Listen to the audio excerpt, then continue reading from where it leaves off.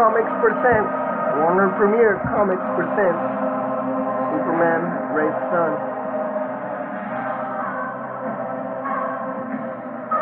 There he is again, standing on the communist symbol. I had made quite an impression in the 14 weeks since I made my journey from the farmlands to Moscow. So, evidently Superman, it shows right here how he arrived as a baby in the farmlands and he grew up and now he's in Moscow and you see the sightseeing of Russia basically. And you see some soldiers with Russian symbols on their shoulder. Parts of Russia in this cartoon as Superman is the one that's speaking evidently. Some still thought me a trick of the light or an urban myth, but each new day saw another super some death-defying rescue.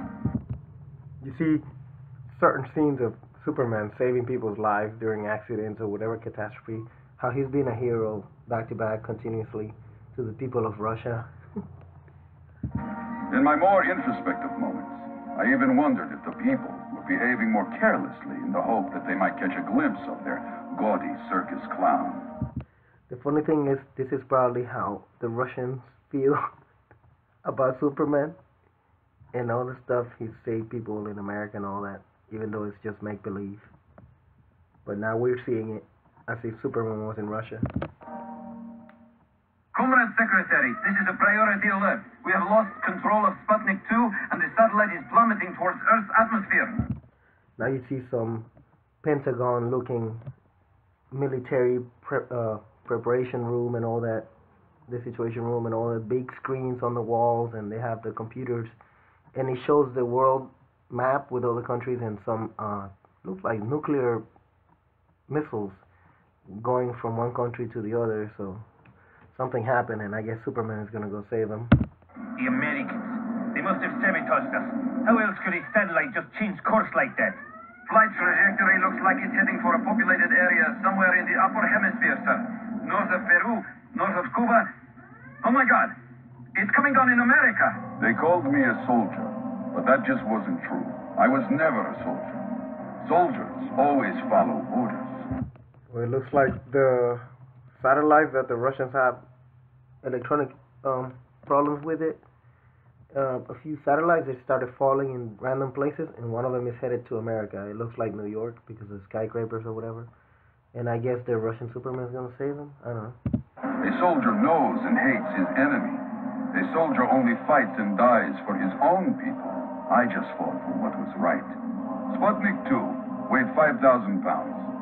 This mass multiplied by an acceleration factor of 100 meters per second would have delivered a force. Now you see Superman. He caught up with the satellite that was gonna hit New York, and he grabbed it, and he's trying to pull it off the course, so that way it doesn't hit the city. Powerful enough to level the entire city. In hindsight, I could have vaporized my heat vision. And now you can see Superman's flight trajectory, and it looks like he managed to curve the path of the satellite, so it landed somewhere else in the water or something, but it, it didn't hit the city. Slowed its descent with my super breath, or even atomized the craft with a calculated blow.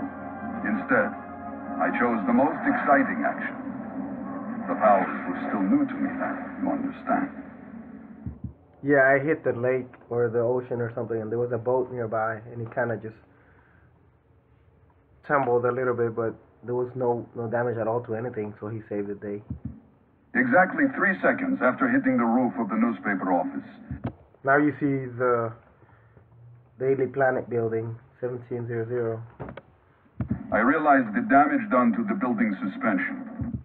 and all the people out there nervous that something was going to happen, but nothing happened. A cluster of support cables groaned and snapped. People below Uh oh, it looks like something hit the damn Daily Planet on the top of the roof. It hit that.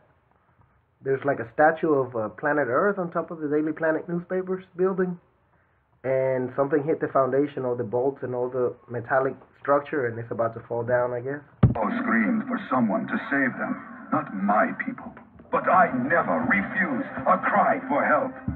And now the people are screaming, nervous, scared, and then Superman comes out of the ocean, and I think he's gonna rescue them from that falling piece of metal. All the lies they spread about me, the propaganda they engineered at the height of the Cold War. Yep, here comes that big metallic racket, and it's gonna fall on people running away. And then as it's heading down the building from high up there, everyone's running away from where it's gonna fall. But there's a mother and her kid, and the kid's holding a balloon. And here you can see the shadow of the falling object about to hit both of them. None of it mattered for a while on that bright afternoon. Okay, so the mother is hugging the baby, and she's scared, like they're gonna die together. And you see they're sitting right under the shadow of the giant object. And the kid is scared, hugs his mama, and he let go of the little red balloon he was holding. Just for a single moment, they realized. And here comes Superman, slowly lowering himself down to them, just to hand the kid his balloon. With his right hand, he's flying down, and on his left hand, he's holding the gigantic metallic object that was gonna kill the moment the kid.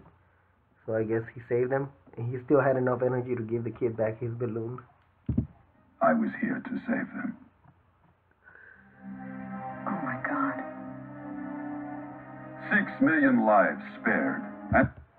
So then, yeah, Superman gives the kids back the balloon, and the kid and the mom go away, and then you see, it looks in this scene that Lois Lane witnessed everything, and she says, "Oh my God," you know.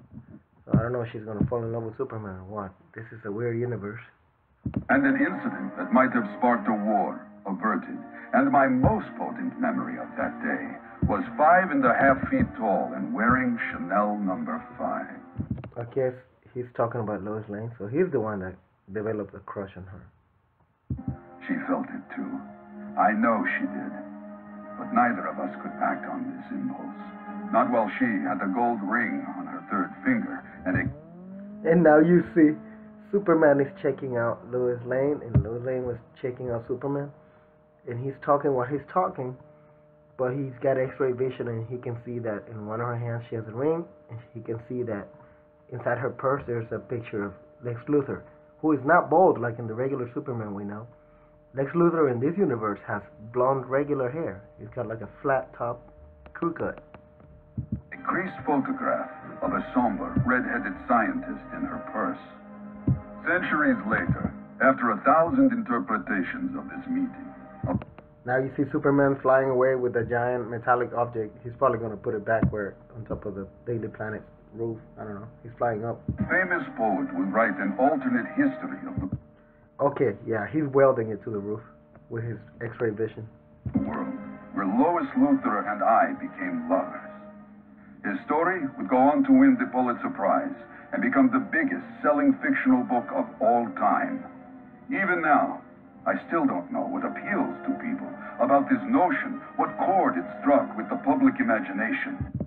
Now you see Superman flying away from New York because he's already done doing what he had to do. And I don't suppose we ever will in this lifetime. That's the end. I hope it was good for y'all. Thank you. We'll see you in the next.